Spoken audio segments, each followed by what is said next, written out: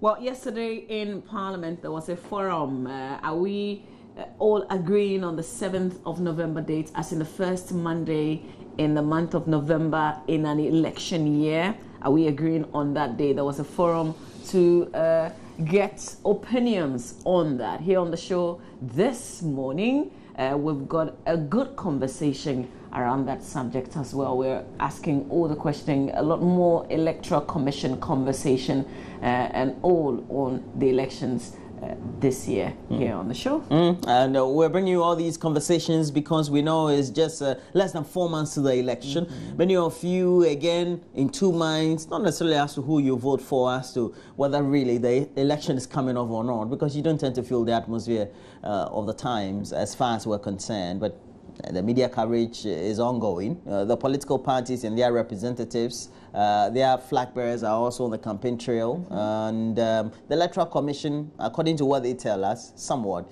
is also on its uh, activities. And so, what the members of parliament uh, think about how the Electoral Commission is prepared is critical to our conversation. Definitely. Uh, but today also reminds us of this. I want you to watch this. Forward here to answer to this charge. Very last casual. what does it mean? we are sorry. You, you put I don't want to say too many things. What I'm stressing is that the authority of this country must be upheld for peace. The ordinary people, the year 20,000, you, you know, ordinary people sold their small properties and left this country, fled. Look at that. Because of what? Because of what? They are not entitled to sleep peacefully? Because of people of this kind? Also, it's the election petition case that was before the Supreme Court. But this very one uh, in point is um, when, uh, is it George Osei who was um, a former General Secretary of uh, the NPP, uh, was uh, were held before the Supreme Court yeah. for contempt mm. charges. There's quite a number of them, actually. Yeah. Yeah. We had Ken Korankye-Ankrah. We had uh, is it Stephen Atubiga? Atubiga, yes. Yes, and yeah. then we had one more person who said he was not part of them, mm. really.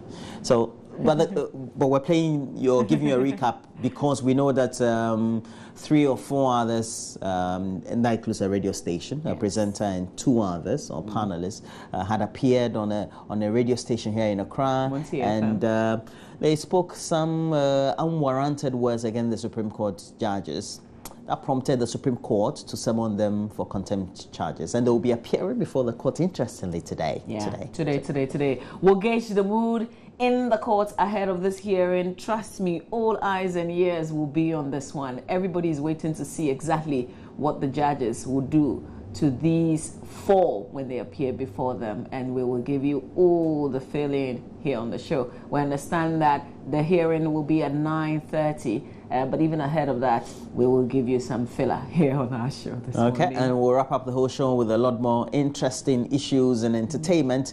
But as always, get interactive throughout the rest of the morning. On Facebook, we have Joy News on TV, and then we also have our WhatsApp platform. Yeah, uh, and I, I think it was two weeks ago that we had a conversation on unemployment. We brought in entrepreneurs here to inspire all of us to understand how they started mm. uh, so that we can also do something on our own. But you and I know that not everybody can be an entrepreneur. And that's why today on the show, uh, there's a group that's organizing a forum to discuss unemployment among the youth.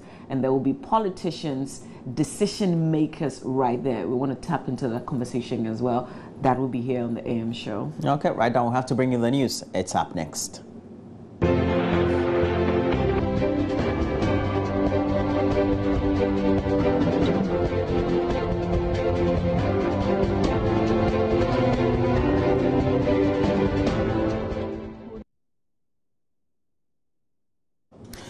Health workers at the Peki Government Hospital in the South Dayi district of the Volta region are handicapped in providing accident victims with effective medical emergency care. Now, this is because the facility lacks a well-equipped and befitting emergency unit.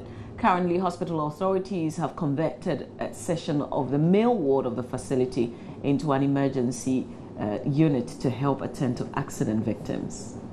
Peki Government Hospital is the first major health facility located on the Eastern Corridor Road in the Volta region. Due to its proximity to the busy road, all motor accidents on the Isukuma stretch are reported to the facility the hospital receives approximately about 13 accident cases monthly, out of which three are major cases. But the absence of an emergency unit makes it difficult for health officials to give accident victims an effective emergency medical care. Currently, a section of the male ward of the facility has been converted into an emergency unit to treat accident victims rushed there. The medical superintendent of the hospital, Dr. Julius Oklu, stressed the need for a well equipped emergency unit to enhance healthcare delivery at the facility. Uh, as you journey to, on the Eastern Corridor Road, the only hospital on the way, apart from Foreign Hospital, is Peki Government Hospital. And the road is so good that we have frequent accidents on the road. We don't have any emergency unit in the hospital. So when we have cases, we put all together, adults and children as well, and that becomes a problem for us. So we would like you to help us have an emergency unit which can address this problem. We also have problems with other equipment.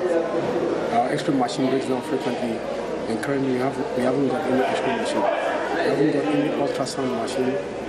Uh, that's another problem. Have only one autoclave he was also unhappy about the delay in the payment of NHIS claims, which he says is affecting day to day administration of the hospital. The problem is with the inflow of funds from the National Health Insurance. So, what we do is we try to uh, uh, reduce our capital expenditure. We don't invest much on structures, building structures, but we try to maintain the ones which we have. We try to make sure that we take our monies. In fact, if people abscond, we don't allow people to abscond, so the absconded cases reduce, and we try to use our money judiciously uh, so that we can uh, uh, get uh, the work going. that is how we manage to mitigate it.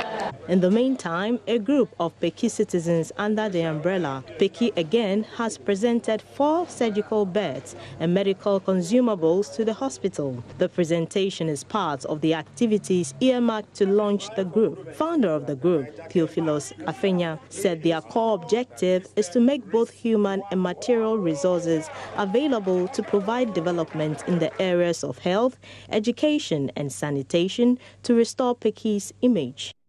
We are also looking at equity development so that uh, we know the hospital will also play its role and then we also have a role to play so that then that development should be more serious if we should be going for it so that we can also help the hospital through internally generated funds. That is our outlook. Our outlook is to make sure you know, the hospital gets better, the schools get better, we, we, we are also looking at helping the area with uh, project financing because most of us are into finance and also do infrastructure development. All these things are drawn up on our programs. The group also undertook a medical screening exercise for the aged. Fred Kwame Asare's report for Joy News.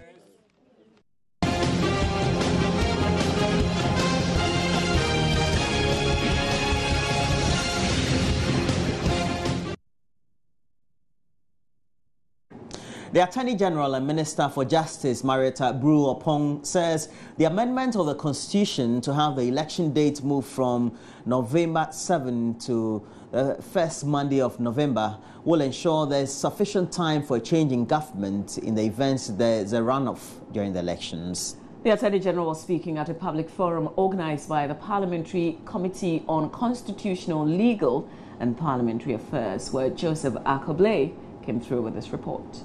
The forum aimed to offer political parties an opportunity to make inputs into the work of the committee. The governing NDC was represented by Johnson Asiedu Nketia, while the NPP was represented by the manager of the party's 2016 campaign, Peter Mac Manu. The PPP and NDP were also represented. Attorney General Marietta Brew-Oppong explained how crucial the amendment is. Now, what the amendment does is to say that the general election of members of parliament shall be held on the first Monday of November before the expiration of the period specified in clause 1 of that article, and a session of parliament shall be appointed to commence within 14 days after the expiration of that period. Now, it is our view that once this amendment is effected, there will be sufficient time for a smooth transition, particularly in instances where there is a runoff election. So, simply put, this amendment is to help all of us ensure a smooth transition. The NPP raised concerns about the timing of the legislation with less than six months to the election and the readiness of the Electoral Commission to conduct the polls. I want the Electoral Commission to tell us that the register for the upcoming elections will be ready within the as stipulated in the CI 91 because minimum 21 days to the election the law says they should give political parties certified copy of the register. The law CI 91 also says that Three months after the voter registration, that is, a provisional register will be compiled and copies given to political parties before exhibition. The NDC, meanwhile, says it is comfortable with the date change, but will also not mind if it remains unchanged. Once it has generally been agreed by civil society, by political parties, and then before electoral commission was um, virtually convinced to adapt it it shouldn't generate any controversy again I must also add that as a political party, we don't have any hard and fast position which way this uh, amendment goes at all. We are committed to the consensus position that has been adopted or that we believe has been uh, adopted by the nation. The committee will be interacting with the Electoral Commission on Wednesday, July 13. For Joy News, Joseph Akable.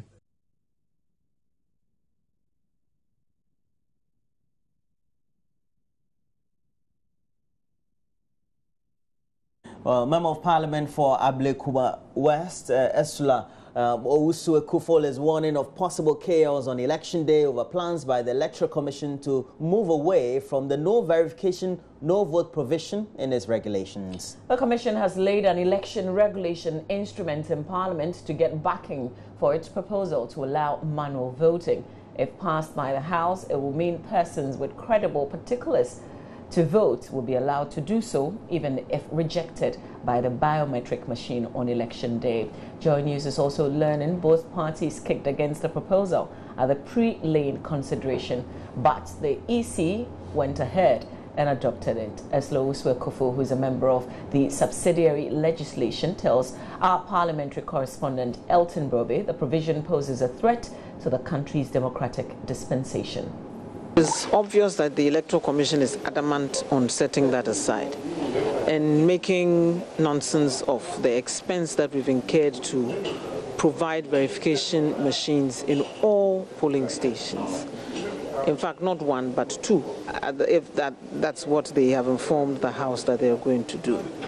What's the point in having verification machines if we're going to make it possible for voters who are not verified to vote? Even though I was distressed that in certain parts of the country, the rules were not allowed, but were uh, relaxed, but were enforced strictly, while in other parts of the country, um, chiefs, the president, and others were able to intervene, and people were allowed to vote without being verified. The uneven application of the law.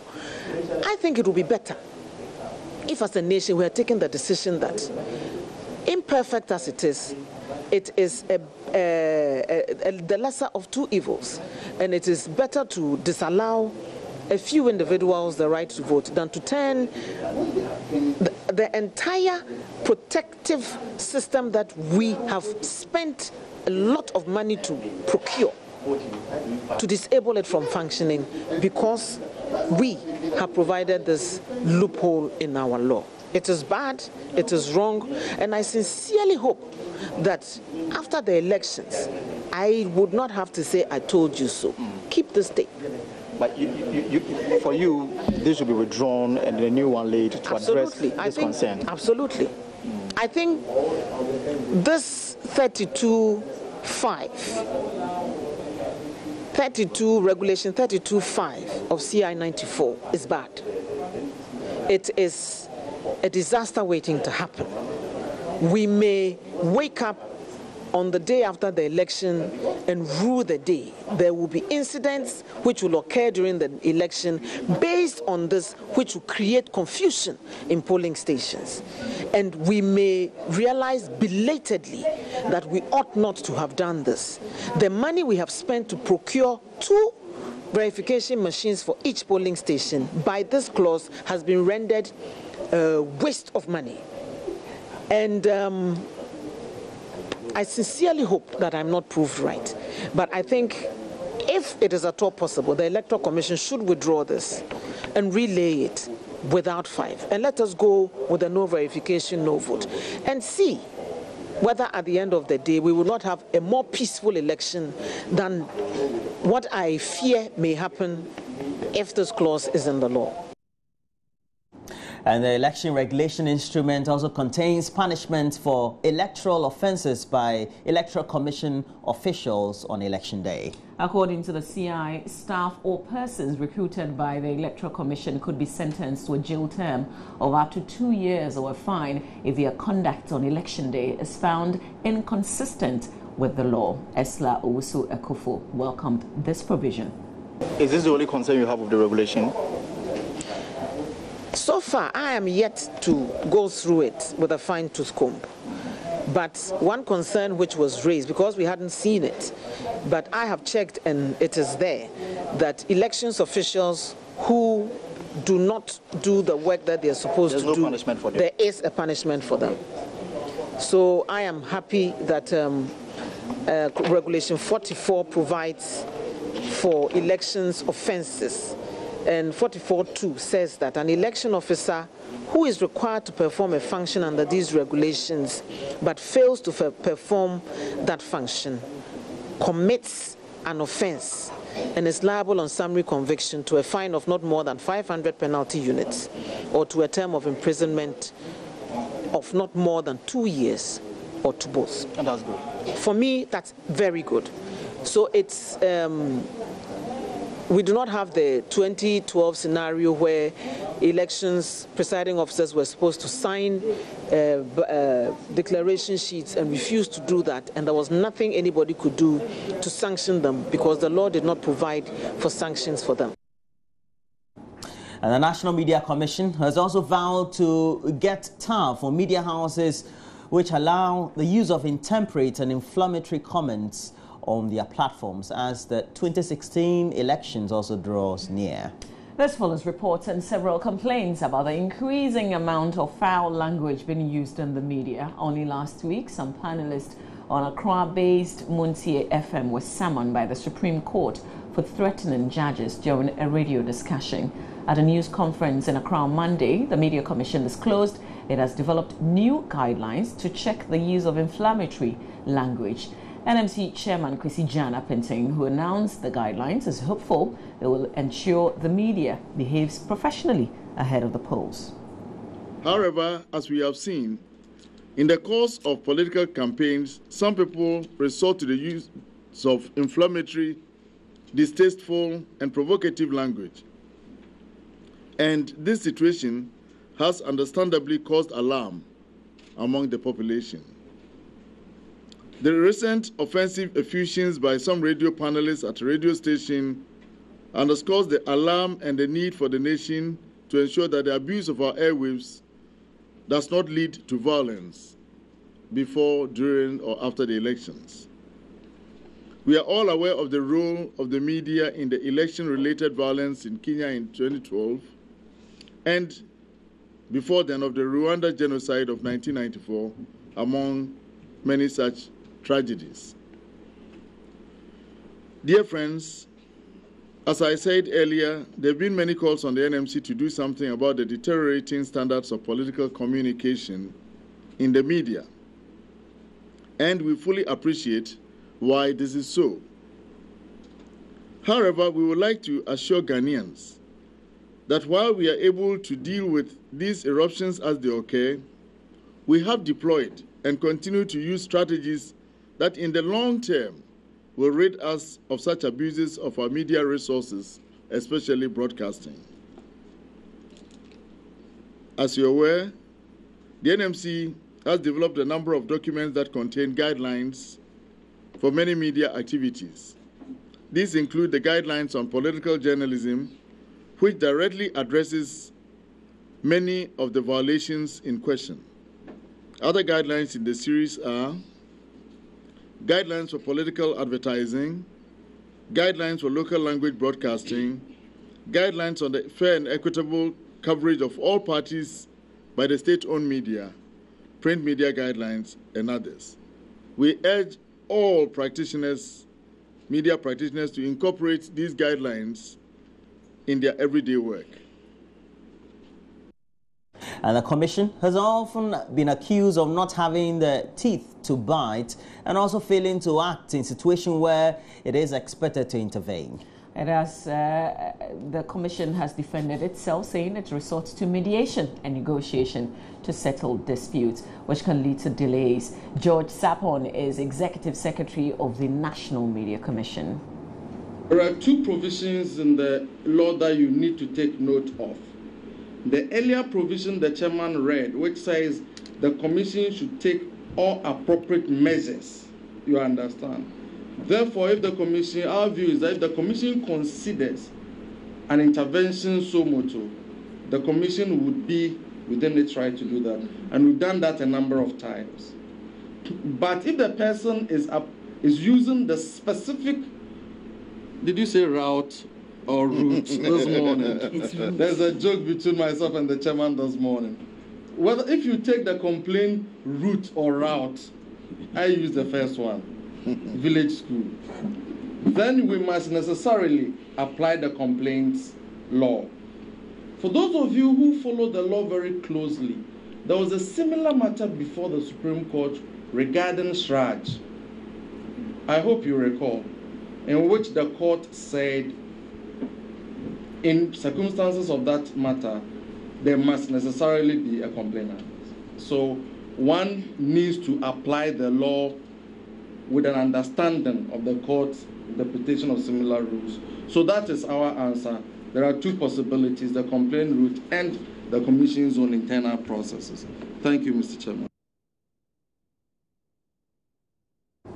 Well, in other news, President John Dramani Mahama has reaffirmed his commitment to give a facelift to the Bolgatanga Bawku Road, which has been in some bad shape for over a couple of years. The president, who is on a two-day visit in the region as part of his Accounting to the People tour, was speaking at a sod-cutting ceremony for the construction of the road at Tili near Zebilla in the Bawku West district of the Upper East region is 111 kilometers. It has been awarded to Queiroz Galvão, which is the company that was working on the Tamale airport. They finished the work on the Tamale airport, so they are moving all their equipment to the Bolga Bawku road to continue that project. The, pro the project has a dual carriage or what our people call double road from Bolga to the outskirts of Bolga. It also has double road through Zebilla Township. And then it has double road entering into Bawku Township. And every community the road goes through will get new street lights. Every community along the road will get new street lights. It has speed ramps so that cars will slow down when they're entering communities. It has zebra crossings. It has bus stops and everything that makes for a modern roadway. And so we've done that shortcutting, and this is our next assignment here. But time is fast spent. Like I said, it's almost 5 p.m.